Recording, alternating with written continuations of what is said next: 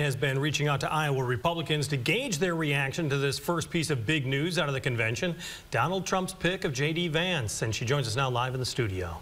That's right, guys. Here in Iowa, many of the state's political leaders are praising the choice of Vance. TV9 reached out to Senator Chuck Grassley's office and received this recorded statement. I want to compliment President Trump on his choice of Senator Vance uh, to be vice president. I know Senator Vance well, work well with him.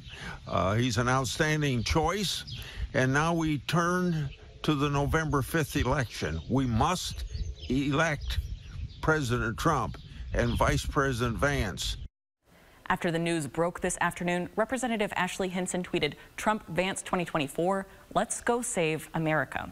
And Governor Kim Reynolds tweeted, an excellent choice by President Trump.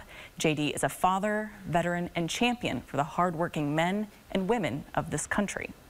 The pick was met with criticism from others. Vance is in his first term as senator from Ohio. The executive director of Planned Parenthood Advocates of Ohio called him an absentee senator, more interested in his own political ambitions than supporting the people he was elected to represent. In the studio, Molly Swing, KCRG TV9 News.